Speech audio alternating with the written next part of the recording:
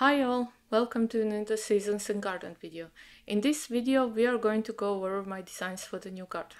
So as you can see my garden is completely awkwardly shaped. It's positioned north-south, so the north is on the top of the page and the south is on the bottom. The east is on the right, the west is on the left and the west is lower than the east, so the slope goes west to east. Let's start with the front of the garden. The front of the garden is fairly simple. You have a garage, you have a parking place, and you have the walkway. And then here on the sides I'm going to grow some lovely flowers that are mostly actually going to be shade loving plants because my neighbor has a hedge that is producing quite a bit of shade. He even has like this tall cypress-like trees. I'm pretty sure that those are not cypresses because the climate's not good for cypress. Next to the parking space, I'm planning to put some conifers. I'm not sure what type of conifer at the moment, but it's going to be some conifer. Then on the north side of the house, because this is the full shade area, as you walk past the house on the path, I will plant the Thuja occidentalis smaragd or I think that's also Arborvitae Smaragd, but this should be fine in this case. And between them, I'm also planning to go with some sort of white hydrangea and probably Lamium Purple Dragon, because I'm currently in love with that plant. So now going to the back of the garden. First we will arrive at the terrace. Now this terrace I have plans to make an outdoor kitchen there and the lounge so that we can hang out and entertain. Then next to the terrace is going to be the area, this triangular lawn area, because my husband always wanted to have one of those Wimbledon type lawns that is like perfectly manicured, super, super, super fancy schmancy lawn. So I'm going to put the super duper fancy schmancy lawn over here. Uh, because that's basically one of two lawns that we are actually going to have.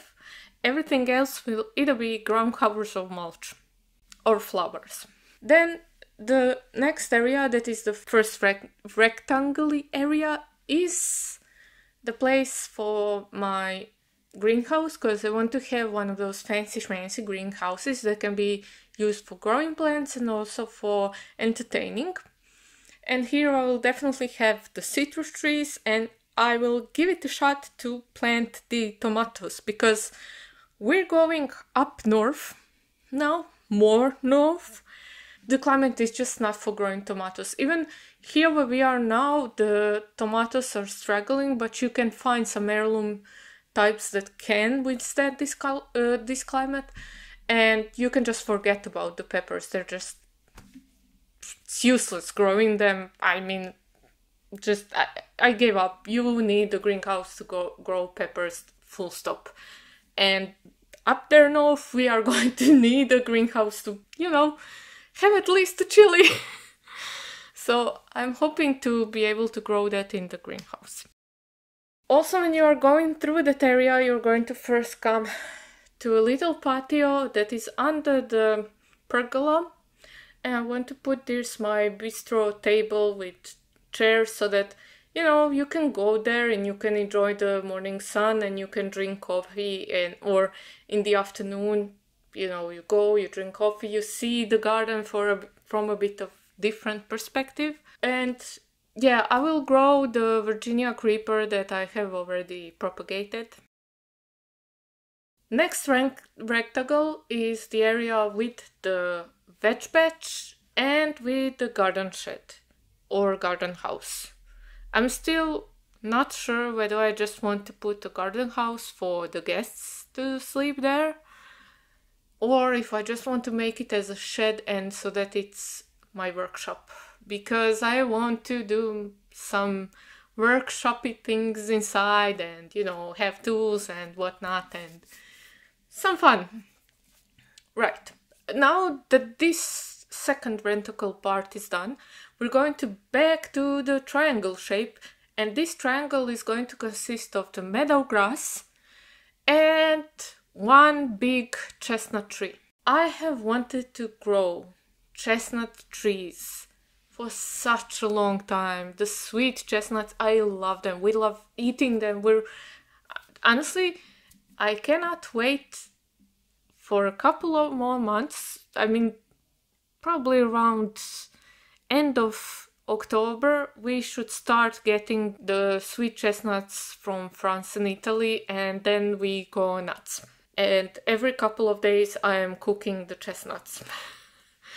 so I'm hoping that with growing my own chestnuts, I will eat my own chestnuts as well. And I'm also thinking about putting a fire pit in this area. Maybe find some nice point where you can when when you sit down you can see the entire garden and maybe a little bit of the valley below us and that you know maybe we could have a nice fire pit over there. I have to admit that this the garden shed and this part is still a little bit under the consideration because there's a chance that I actually move the garden house into this area and the chestnut tree that goes below, but this is something that will have to happen there. And then we come to the area of the small terraces. Now, this is actually going to be my orchard, so I'm going to grow the fruits in cordons in a manner that my father and my grandpa and I don't know how many grandpas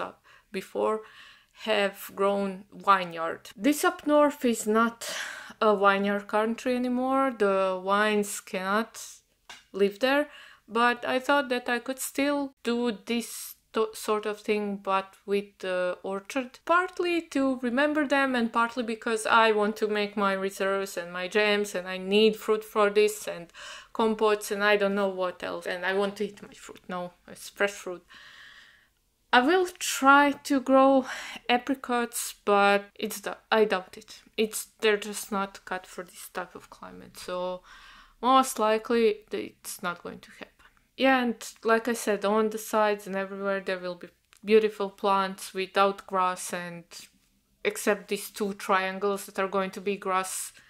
I don't want to see grass anywhere. Even the terraces with the fruit trees, the cordons I'm going to grow Irish moss over there and do like a path between the rows of the of the fruit trees and it's going to be covered in the Irish moss because I don't want to cut the grass. I just don't want to mow. I don't want to do it. Let's be clear. Right, so this is it when it comes to me jabbing my jaws. Uh, we are now going to start with the garden virtual garden tour. Excuse me for the camera motion, it might make it easy, but the application that, that I was using for the garden design isn't meant to be shown for a virtual tour and I did my best so that it's not that bad. But yeah, I hope you will still enjoy, still enjoy it. So thank you very much for watching and I'll talk to you soon. Take care, bye bye!